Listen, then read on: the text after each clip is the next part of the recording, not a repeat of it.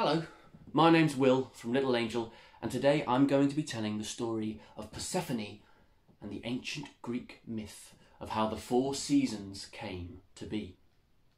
Now, back in ancient Greek times, Zeus was the king of all of the gods in ancient Greece. He had two brothers and three sisters. All of the gods had jobs, but Zeus's sister Demeter had one of the most important ones. She was in charge of the harvest.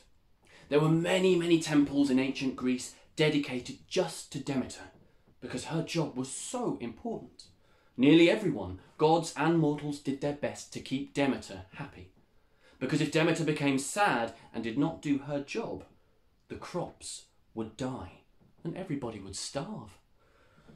The gods, being the gracious and loving chaps that they are, did not want the ancient Greek people to starve.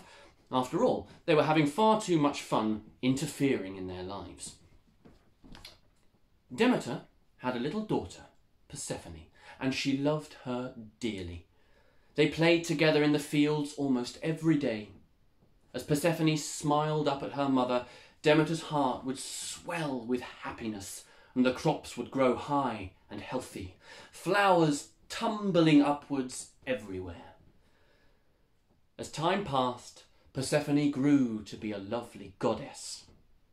And that's when the trouble started. Hades, the king of the underworld. Now, he was a gloomy fellow. He would spend most of his time in his underground kingdom. But one day, Hades felt restless. He needed a break from the darkness of the underworld, so he decided to take his three headed dog out with him for a chariot ride. Cerberus, his dog, usually stood guard at the gates to the underworld, but Hades liked to give his pup a break now and then.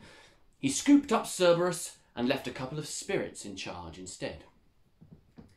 Hades flew his chariot up to the earth, and as soon as he arrived, Cerberus leapt out of the chariot and ran around, sniffing flowers with all three of his heads, barking at nothing, having a little wee up against a tree.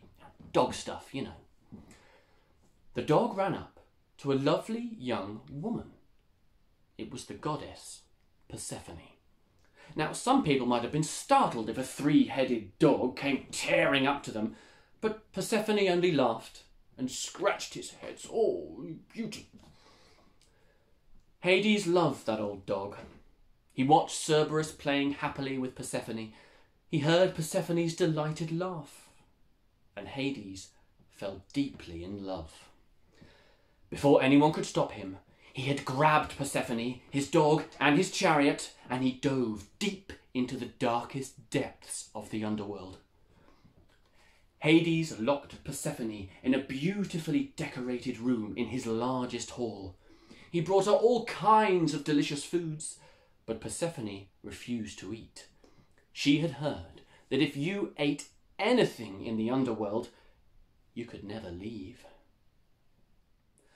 She had every intention of leaving as soon as she could figure out how to do so.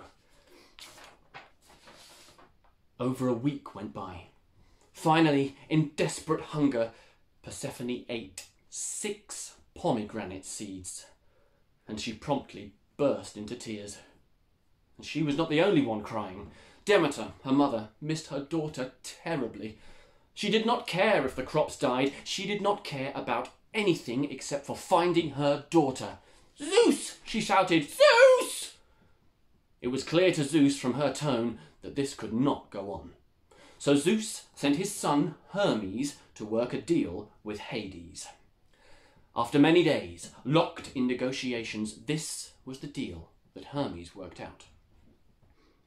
If Persephone would marry Hades, she would live as queen of the underworld for six months, each winter one month for each pomegranate seed that she ate.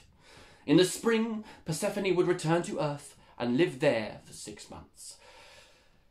No one especially liked the deal, but everyone finally agreed. Every spring, Demeter makes sure the flowers are blooming and the crops are growing and the fields are green with welcome.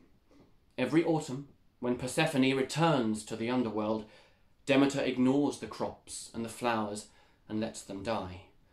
Each spring, Demeter brings everything to life again, ready to welcome her daughter's return.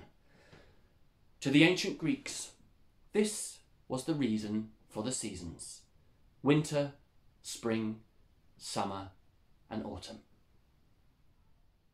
The end.